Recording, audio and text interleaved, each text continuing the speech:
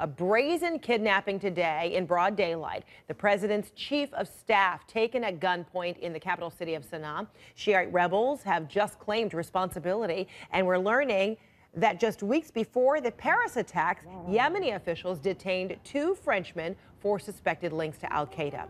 CNN's Nick Paton Walsh is in Yemen for us. What's the latest on this chief of staff uh, that was kidnapped? Any new demands? Anything new about, you know, his disposition? How is he?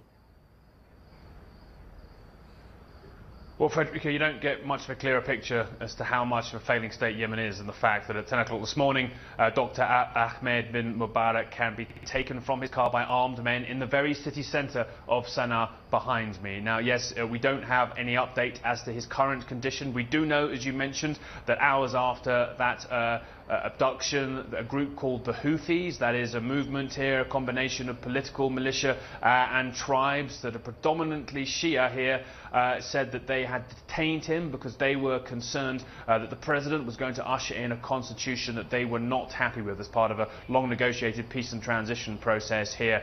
The US and UK embassies have issued an immediate call for Dr. Mubarak's release and condemned uh, the abduction. And this really shows, I think, how increasingly powerful the Houthi movement here feel they are. In the past months, they have gained in momentum across the country, taking a lot of territory in the last few months, moving into the capital, Sana'a itself. We see their checkpoints on the main roads here. Their opponents are the presidential administration, what's left of the government here, uh, and the loose uh, conglomeration of Sunni tribes and other groups here, which sometimes even include Al Qaeda as well. Al Qaeda often attack uh, the Houthis here in Yemen. Yemen, frankly, in a lengthy civil conflict, it's a mess. It's nothing that's going to be calmed by this escalating move by the Houthis today and it really shows how little executive power what is left of government here in Yemen has. And bear in mind, there's an economic collapse coming soon here too.